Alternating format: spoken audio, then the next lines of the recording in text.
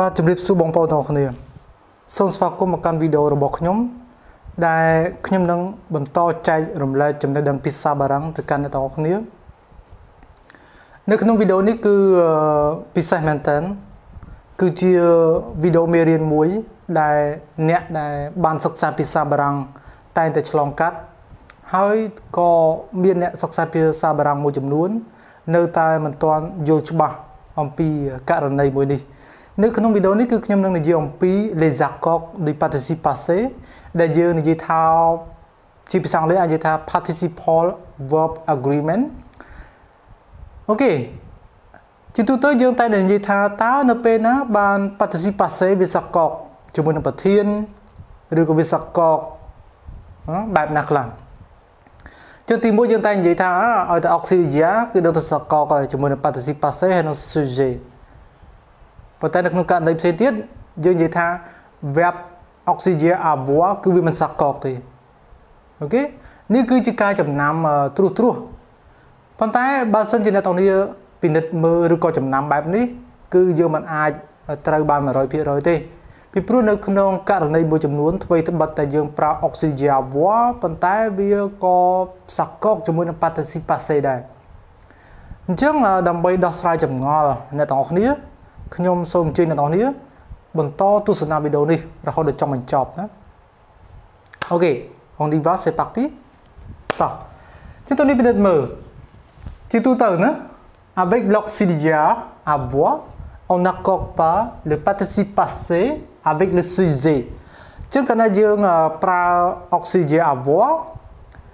ចឹង participe passé ដែលយើងនិយាយថាអតីតកាលរបស់កិច្ចសព្ទណាមួយ វាមិនសកក វាមិនប្រែប្រួលទៅតាមប្រធានទេអូខេសូមឧទាហរណ៍ elles ont mangé les fraises elles ont mangé les fraises ឃ្លានេះគឺជា participe សំទោសឃ្លានេះគឺជាគេហៅថាអតីតកាល le passé composé វាមាន auxiliaire avoir វាមាន participe passé du verbe manger គឺ manger សរសេរជាមួយ e accent aigu ហើយ les fraises គឺជា complement អីចឹងមកជា COD ចឹងមកណាអូខេជានៅក្នុងទម្រង់បែបនេះយើងប្រើ oxygen avoir គឺ manger យើងអត់សាកកជាមួយនឹងប្រធាន L L ជានាមភេទស្រីហើយពហុវចនៈទៀតអញ្ចឹងកន្លែងនេះយើងអត់មានបន្ថែម e បន្ថែម s ទៀតទេណាយើងអត់មានបន្ថែម e ឬក៏បន្ថែម s នៅពីក្រោយនោះទៀតទេណាគឺអត់ទេដោយសារតែ oxygen avoir វាអត់សាកកជាមួយនឹង sujet ទេ participe passé នេះអូខេប៉ុន្តែ ចំណុចទី2 sauf si le complément d'objet direct le COD est placé avant le verbe avant le verbe កន្លែងនេះគឺ avant l'auxiliaire avoir OK là on accorde le participe passé ពេលពេលនេះគឺ participe passé avec le COD le complément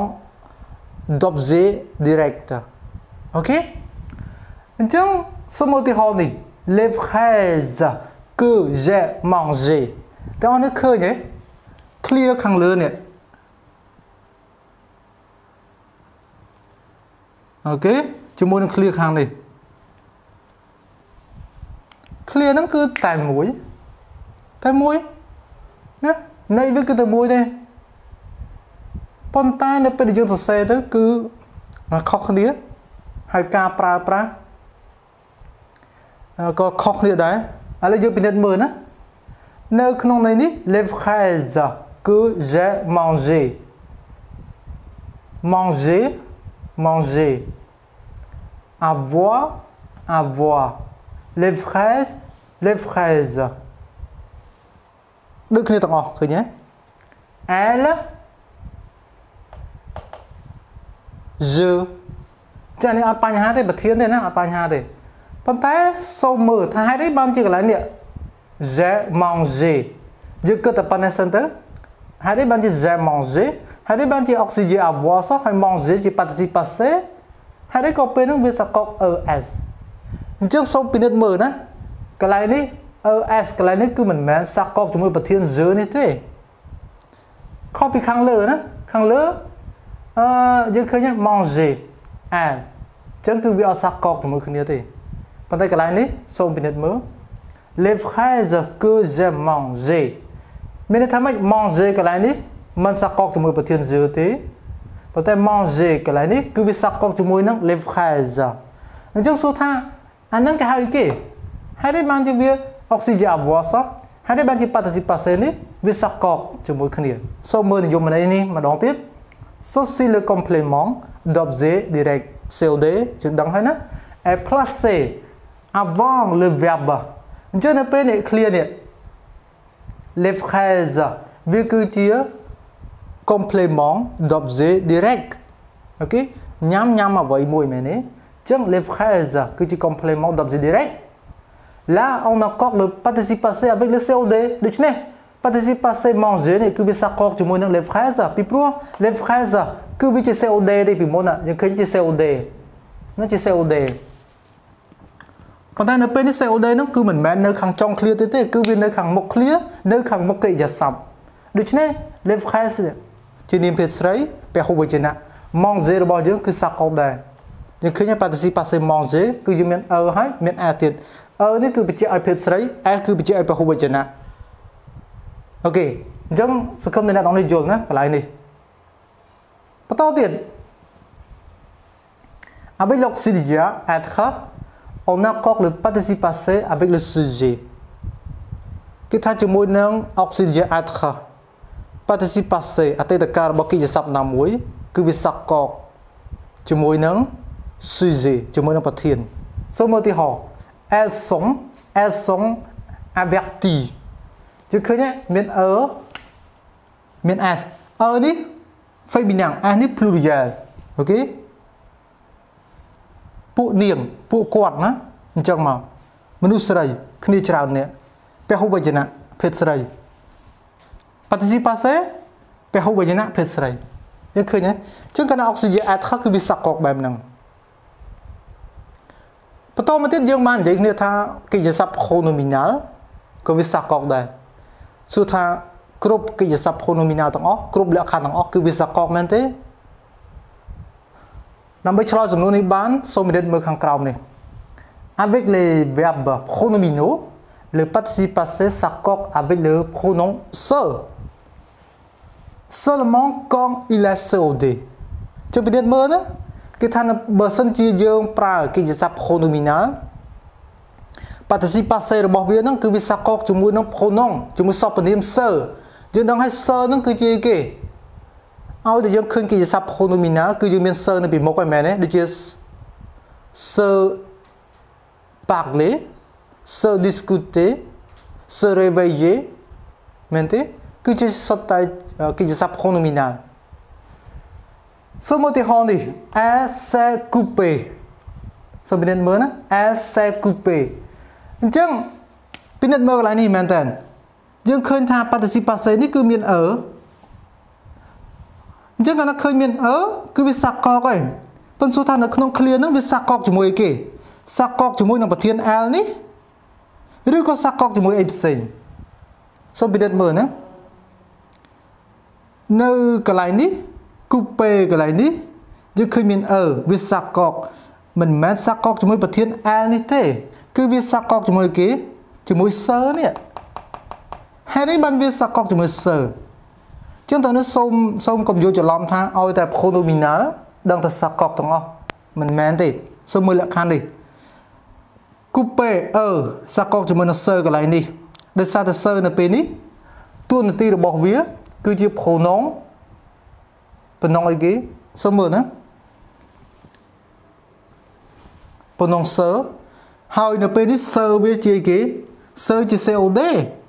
ទូនាទីរបស់ sir នៅពេលនេះគឺជា COD complément d'objet direct ចឹងសំណួរនេះដើម្បីឲ្យយល់គឺអ្នកទាំងនេះសួរសំណួរមួយសួរសំណួរមួយណាសំណួរ question គឺយើងសួរបែបនេះ elle a coupé សូមមើលណា elle a coupé quoi នាងនាងនាងកាត់អីគេនាងមុតអីគេចម្លើយរេប៉ុ ងគឺ elle elle-même ជានៅពេលនេះ elle-même នេះ elle-même នឹងគឺជាគេ complément d'objet direct ជា COD ដូច្នេះហើយបានជា clear នេះ AC coupée អឺកន្លែងនេះគឺវា s'accorde ជាមួយ se មិនមែនសាកកជាមួយនឹងប្រធាន L ទេពីព្រោះ se កន្លែងនេះវាគឺជា complément d'objet direct OK OK ចំណុចទី2វិញ ឃ្លា ឧទាហរណ៍ទី2 s'est coupé les cheveux តើនេះតើ ឃ្លា នេះខុសឬក៏ត្រូវ s'est coupé les cheveux តើខុសឬក៏ត្រូវបើសិនជាយោងតាម clear ទី1 clear ខាងក្រោមនេះឃើញតែខុសគ្នាអត់ឃើញមានអឺមូលហេតុអីបើសិនជាអត់ឃើញមានអឺមានថាអត់សាក់កកទេមែនទេអញ្ចឹងមូលហេតុអី ប៉ុន្តែវាជាកិច្ចសព្ទ pronominal ដូចគ្នាសើគូពេដូចគ្នាសើគូពេសើគូពេដូចគ្នាមិនក៏អាខាងលើវាសាក់កកអាខាងក្រោមអត់សាក់កកសូមពិនិត្យមើលណាតើសើនៅពេលនេះវាជា COD ទៀតអត់សើនៅពេលនេះវាជា COD នេះទៀតអត់វាមិនមែនជា COD ទៀតទេ នៅក្នុង clear នេះគេមាន COD របស់គេគឺ le server អញ្ចឹងអានេះវាជា COD សើនៅពេលនេះមិនមែន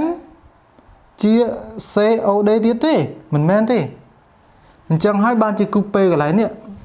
អត់មានសាក់កកទេណាបងប្អូនអញ្ចឹងខ្ញុំទាញចំណាប់អារម្មណ៍ថាច្បាស់ជាមានគ្នាយើងមិនតិចទេ ដែលគិតថាឲ្យតែជាកិច្ចសាប់ pronominal ដឹងតែសកកប៉ុន្តែវាមិនដូចនេះទេដូច្នេះនៅក្នុងវីដេអូនេះខ្ញុំសង្ឃឹមថាវាជាកន្លឹះមួយ ដើម្បីឲ្យអ្នកដែលរៀនភាសាបារាំងយល់ច្បាស់អំពីករណីលក្ខខណ្ឌផ្សេងផ្សេងការសកកឬក៏យើងហៅថា subject verb agreement ឲ្យត្រូវគ្នាណាអូខេបើសិនជាអ្នកទាំងនេះយល់ថាវីដេអូមួយនេះមានសារៈប្រយោជន៍សូមជួយចុច Subscribe ចែករំលែកឲ្យបានច្រើនឲ្យបានទៅដល់អ្នកដែលគាត់ស្រឡាញ់ចូលចិត្តរៀនភាសាបារាំងឆ្លងកាត់ការសិក្សាភាសាបារាំងក៏ដូចជាចំណុច passé composé គឺជាមេរៀនខ្លឹមមួយ គឺជាមេរៀនសំខាន់មួយដែលអ្នករៀនភាសាបារាំងត្រូវតែចេះហើយគឺវាជាចំណុចដែលពិបាកយល់នៅពេលដែលយើងនិយាយពីសកលរបស់វាដូច្នេះអ្នករៀនភាសាបារាំងទាំងអស់ខ្ញុំជឿថាឆ្លងកាត់វគ្គនេះហើយអ្នកខ្លះក៏គាត់បានយល់ទៅអ្នកខ្លះទៀតក៏នៅតែស្មុគស្មាញនៅតែមិនទិលនៅតែមិនច្បាស់